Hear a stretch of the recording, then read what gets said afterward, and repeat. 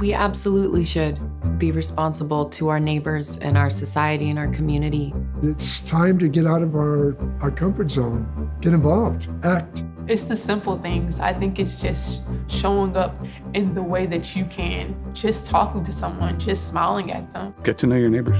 Say hi. Say, I'm here for you. If you see someone doing something by themselves and you feel like maybe you could be of assistance, offer it.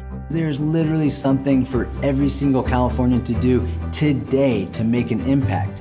Ask a vulnerable senior if you can take out their trash cans, throw a block party, plant a community garden together. You can help. You can do what you can do. And no one's beyond that. Open up. Open up your heart and your mind. It's those simple things that are going to connect us and rebuild our communities.